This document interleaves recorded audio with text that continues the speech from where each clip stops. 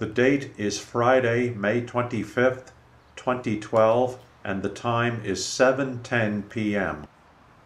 We are at the LIRR Mastic Shirley Station adjacent to William Floyd Parkway in Suffolk County. This is the 5:09 p.m. peak Penn Station to Montauk dual mode train 2714. The equivalent of this train normally terminates at Speonk. However, on Friday nights from Memorial Day weekend until September 7th, this train is extended to Montauk. The train is operating about 12 minutes late tonight due to heavy holiday weekend loading.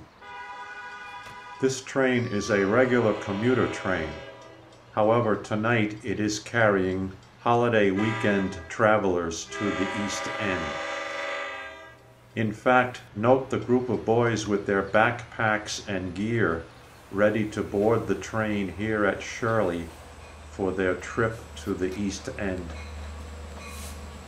DM30 AC502 is in the lead with DM30 AC522 at the rear and eight C3 bi-level passenger cars.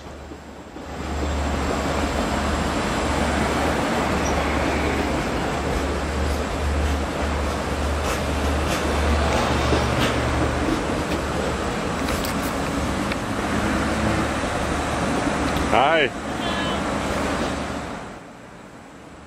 That was an assistant conductor on this train who recognizes me from my frequent trips on the train from Penn Station to Speonk.